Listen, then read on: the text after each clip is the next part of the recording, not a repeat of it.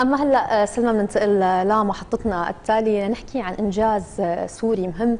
يمكن الإبداع بيبدأ بفكرة سلمى قديش هي الفكرة فعليا بدها بحث وشغل الطبقية على أرض الواقع. اليوم ضيفتنا بصباحنا غير الباحثة والمهندسة السورية رزان الزين اللي حصلت على براءة اختراع من الهند عن فكرتها في تطوير بلاطة إنشائية قادرة على مقاومة الحمولات العالية جدا.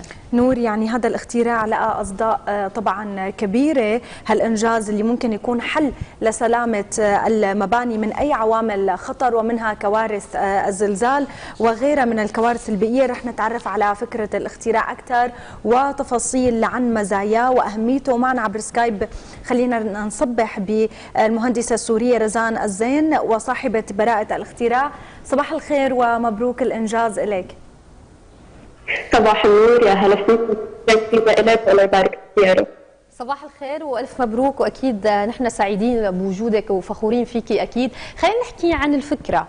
آه، كيف إجت؟ كيف بلشت؟ آه، قديش فعليا احتجتي من الوقت والبحث فعليا لتوصلي لهيدا الاختراع؟ آه، صباح الخير بداية. بالعادة دوما كل فكرة جديدة هي نتيجة احتياج لحل مشكلة معينة. بعام 2019 بدينا أنا ودكتوري بمحاولة إيجاد حل لمشكلة بتصادفنا عادة بمجال الهندسة الإنشائية. بحالة الأبنية المرتفعة أو لما الاحتياج لمجازات كبيرة بنواجه صعوبة باختيار نوع البلاطة الإنشائية المناسبة لأنه عادة يا أما بنضطر نختار بلاطات بتكون سماكتها كبيرة وبالتالي وزنها كبير هالشيء بيأثر على آه، اقتصادية المنشأ أو نلجأ لحلول بديلة عن البلاطات التقليدية. كمان بكثير من الأحيان بتكون آه، مكلفة وغير اقتصادية. حاولنا نحل هاي المشكلة بالبلاطة المطروحة اللي تقدمنا بعام 2021 آه، بطلب الحصول على براءة الاختراع. البلاطة هي قادرة على مقاومة حمولات عالية جدا على الرغم من وزن الخفيف. بالتالي كان آه، تقديم الحل هو آه، أو تقديم البلاطه هو كنوع من الحل للمشكله المطروحة. نعم. طيب آه، مهندسة رزان خلينا نحكي كيف ممكن للبلاطة الإنشائية التفاعل مع الزلزال وخاصة أنه النشاط الزلزالي كان على درجة كبيرة خلال الفترة الماضية؟ للأسف فعلا محزن الشيء اللي صار. دورنا كمهندسين إنشائيين أنه نأمن أمان المنشا هون بهي الحالة العناصر المقاومة للزلازل هي العناصر آه، مثلا الإطارات اللي هي عبارة عن آه، جوائز والعقد بينهم. البلاطة الإنشائية بالتحديد هي ما بتقاوم الزلزال إنما هي بتتفاعل مع الزلزال. بمعنى إنه البلاطة لازم تكون قادرة على الخضوع لتشوهات كبيرة جدا قبل ما تنهار. هي خاصية اسمها المطاوعة. البلاطة بتتمتع بدرجة عالية من المطاوعة بمعنى أنه هي قادرة على التشوه لدرجة جدا كبيرة. قبل ما تنهار هالشيء بيعطي آه، المجال الكافي للسكان للإخلاء طبعا آه، في حال حدوث زلازل لا قدر الله. الكوارث البيئية هي ما تقتصر على الزلازل إنما هي أي شيء بيأثر على آه، توازن البيئة هو ممكن يعد خطر بيئي. فالبلاطة هي كمان صديقة للبيئة. بالتالي نحن كل إنسان بدوره قادر على حماية البيئة من مكانه. بسبب صداقة البلاطة للبيئة آه قدرنا إنه نقول إنه البلاطة هي بتأمن نوع من أنواع السلامة البيئية خلينا طب خلينا نحكي عن نقطة كثير مهمة ذكرتيها أستاذة رزان خلال حديثك. يعني آه، أهمية هي البلاطة في مجال البناء. يعني ذكرتي أنه هي منا كثير ثقيلة خفيفة بتتفاعل آه، فعليا مع الكوارث صديقة البيئة. ونحن بنعرف البناء اليوم والتطور آه، الكبير. يعني قديش بيحتاج لمواد وقديش فعليا في شغل متعب. هون لا بصير الموضوع يمكن أسلس وأخف. ومثل ما قلتي بيتفاعل مع المشكلة. يعني هي البلاطة مو فقط ما عم نقول بتقاوم تقاوم الزلازل بس نوعا ما بتكون نوع من الحماية آه، في مجال البناء. نعم آه، تماما هو هيك فعلا. آه، ميزات البلاطة آه، خلينا نقول هي آه، فيها آه، صديقة للبيئة لسببين أو لثلاث أسباب. بداية آه، هي وزنها خفيف بسبب شكل مقطع العرضي بالتالي كمية البيتون اللي نحن بنستخدمها هي أقل. معروف في الدراسات إنه كل إنتاج كل طن اسمنت بينتج طن غاز ثاني اكسيد الكربون البيئة اللي هو مؤشر جدا خطير. آه، بالتالي نحن لما خففنا سماكة البلاطة خففنا وزنها سهلنا قدرة على إنشائها أيضا خففنا من آه، تكلفته. هيك من الناحية الأولى، من الناحية الثانية المواد المستخدمه بالبلاطه هي مواد صديقة للبيئة، أيضا هي ما مواد ذات تكاليف عالية، هالشيء هو حل انشائي اقتصادي جدا جيد.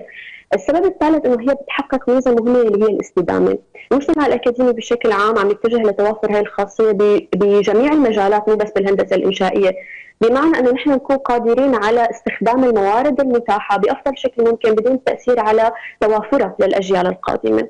آه هي بشكل عام، أما بشكل خاص بالنسبة للعناصر الإنشائية هي قدرة العنصر الإنشائي على خدمة المنشأ طوال فترة حياته بالإضافة إلى إعادة استخدامه أو إعادة تدويره. بسبب شكل البلاطه بسبب العناصر المستخدمه فيها أو المواد المستخدمه فيها هي فعلا قادرة على إنه نحن نرجع نستخدمها مرة ثانية باستخدامات أخرى أو نرجع نعمل لها إعادة تدوير لبعض الأجزاء اللي داخلة فيها، فهون بهي الحالة نحن مو بس عم نأمن سلامة إنشائية للمبنى بأنه تتفاعل مثلا مع الزلازل، لا نحن كمان عم نأمن حل لمشكلة آه، تلوث البيئة اللي هو عم يصير بجميع الاختصاصات، ومعروف إنه آه، للأسف إنه المجال الإنشائي هي من أكثر المجالات تاثيرا بشكل سيء على البيئة. فحاولنا قدر الإمكان إيجاد حلول لهدول المشكلتين المطروحين بهي الطريقة. طيب بما أنه حضرتك حكيتي عن نقطتين كثير هامين اللي هي الأولى بما يخص أنه تكون البلاطة الإنشائية آه، آه، بتعمل على مبدأ الاستدامة والثاني على مبدأ طبعا الحفاظ على البيئة من إعادة استخدام آه، بعض المواد أو تكريرها. فخلينا نحكي أكثر عن المواد التقليدية اللي تستخدم كانت بالبلاطة الإنشائية وشو الشيء اللي هلأ حطيتوه ضمن هي البلاطة الإنشائية اللي بيميزها وبيخليها تحقق هي الميزتين وهل من الممكن هذا الشيء يكون متواجد ببلدنا بسوريا ببعض البلدان اللي نحن عم بنعاني أصلا من نقص بمواد البناء. وبالتالي من صعوبة وجود آه، مرونة بإعادة أعمار بكثير من الأماكن. آه، هو عادة معروف إنه البيتون هو عبارة عن صحف آه، رمل اسمنت وماء. حاليا آه، كثير من التجارب اللي صارت على إنه كيفية استبدال الرمل بسبب طبعا قلة الموارد الطبيعية المتاحة آه، بمواد أخرى خلينا نقول اللي هي مثلا مثل مخلفات المصانع آه، مخلفات صناعية خطيرة مثلا. أيضا بالنسبة ل في أشياء ثانية بنستخدمها مثل البلاستيك على سبيل المثال خلينا نقول اللي هي عناصر غير قابلة للتحلل بالبيئة وهي عناصر جدا خطيرة على على البيئة. حاليا عم يتم محاولة دمج هي المواد آه، بالعناصر الإنشائية كنوع من إيجاد طريقة نافعة لاستخدام هي النفايات بالبناء. اللي نحن عملناه إنه آه، بسبب أيضا قلة توافر الحصويات الطبيعية سواء بالهند أو سواء بسوريا أو بالعالم بشكل عام فنحن حاولنا إنه نستخدم نوع من الحصويات اللي هي آه، تعتبر خلينا نقول خفيفة الوزن لكن بنفس الوقت هي ما رح تعمل هدر آه، للموارد الطبيعية اللي هي اوريدي متاحة لأنه هي بجزء كبير منها هي عبارة عن مخلفات صناعية. أيضا في جزء من النفايات يلي نحن حاولنا إنه نلاقي طريقة نستخدم فيها آه، هي النفايات بالبيتون بحيث إنه هي تأمن خواص إنشائية تزيد من قدرة تحمل البلاطة، فهيك نحن هون قللنا من استخدام الموارد الطبيعية اللي هي موجودة، بنفس الوقت لقينا تصريف نافع للنفايات وأيضا كانت البلاطة خفيفة الوزن. طيب خلينا نرجع لبراءة الاختراع الاختراع ونحكي معك استاذة رزان عن اللحظة اللي نلتي فيها براءة الاختراع، يعني السوري دائما مبدع مو فقط في بلده في جميع البلدان بنعتز ونفتخر بكل السوريين يعني بتكبروا القلب بتفرحوا القلب، خلينا نحكي عن هي اللحظة تحديدا وبعد نيلك براءة الاختراع، شو الخطوات التالية لرزان؟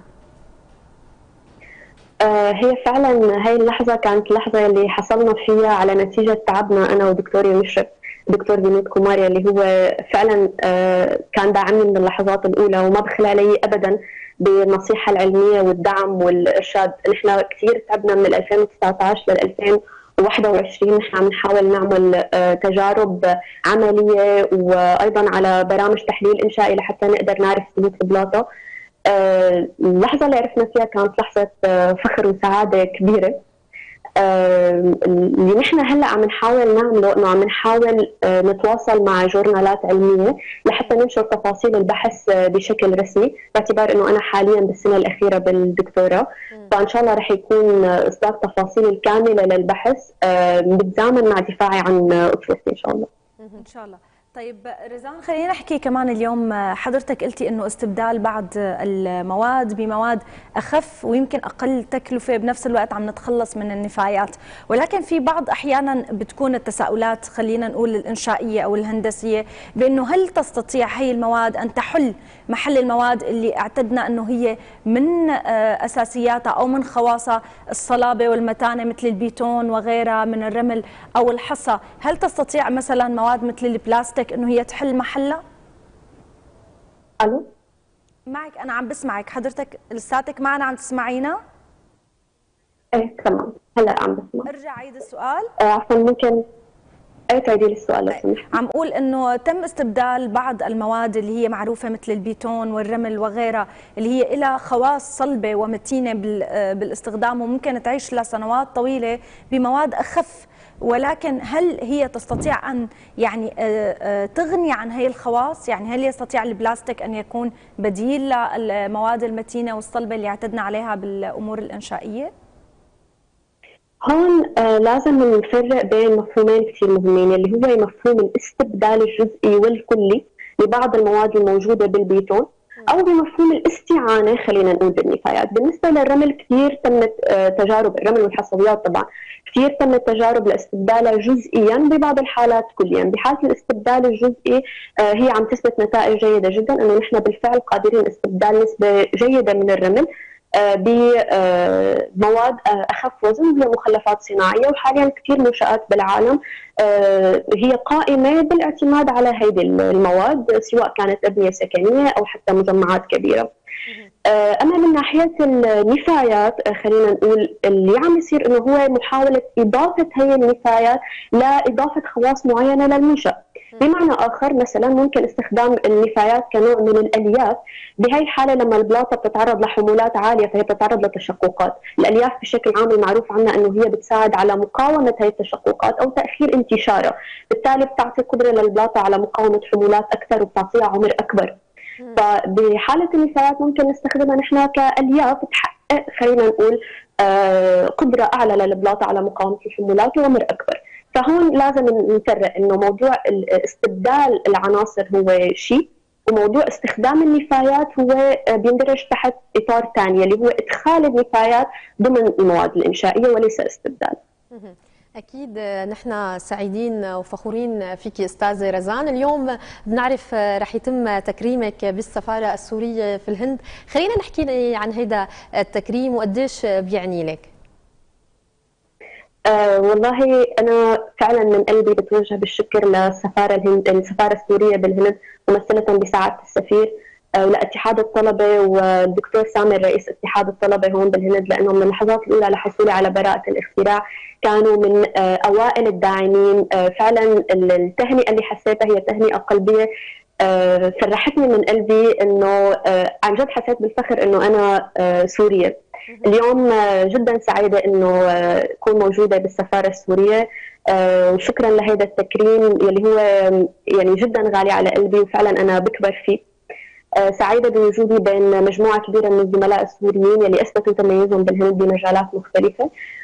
بتمنى أنه هذا الإنجاز فعلا يكون نافع بداية بالدرجة الأولى لبلدنا ويتم استخدامه بالشكل الصحيح. آه، بتمنى أن يكون وفقت بإيصال صورة عن السيدة السورية أنه هي قادرة على حمل رسالة العلم والمعرفة سواء داخل سوريا أو خارجها. وهيك نوع من التكريم من آه، سفارتنا ومن الجهات الرسمية وشكرا لحضراتكم كمان لتسليط الضوء على هذا الإنجاز. آه، هو دافع لنا لحتى نقدم المزيد لنرفع اسم سوريا بالعالم كله أكيد. ونحن بدنا نتشكرك وبنرجع بنقول قد إيه نحن فخورين فيكي وفخورين بكل سوري عم بيكون سفير لبلده بالخارج بكل مجال هو موجود فيه. شكرا كثير لك ونتمنى لك التوفيق.